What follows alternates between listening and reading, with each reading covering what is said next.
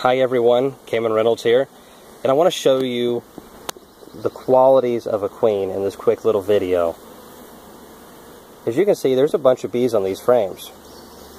Some would say this looks pretty darn good. I don't.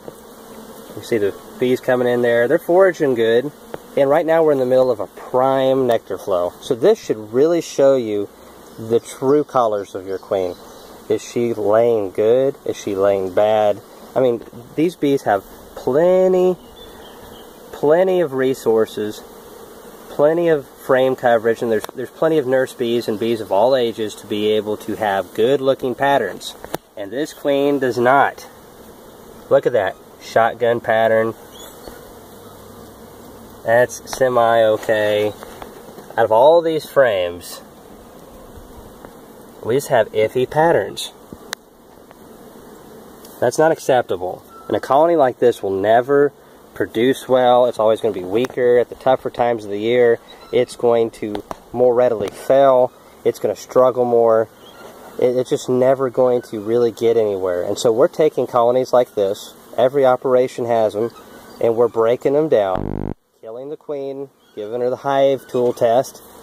And we're, we have a bunch of queen cells. And we're going to split this into three hives. And we're going to put a queen cell in each one. And that gives us a shot at three. What are those goobers doing over there?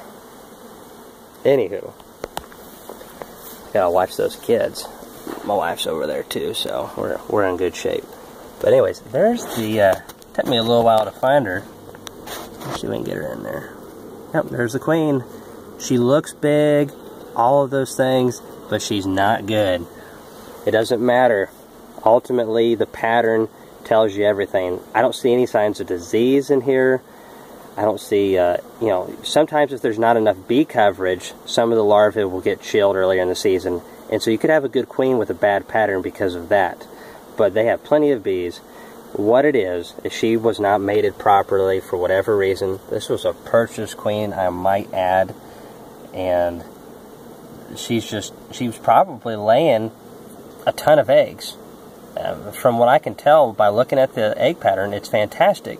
But the problem is, is genetically, some of those fertilized eggs, they're either gen genetically not diverse enough, there's too much inbreeding, or she could be laying a few drone eggs every now and then. Whatever it is, the bees can detect that at a certain age, and they cannibalize that larva because they don't want that. And that's why you end up with the shotgun pattern.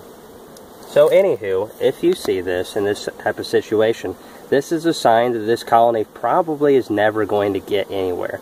FYI, we have colonies that were made at the same time that are nearly twice as strong because their queens have patterns that are solid and beautiful.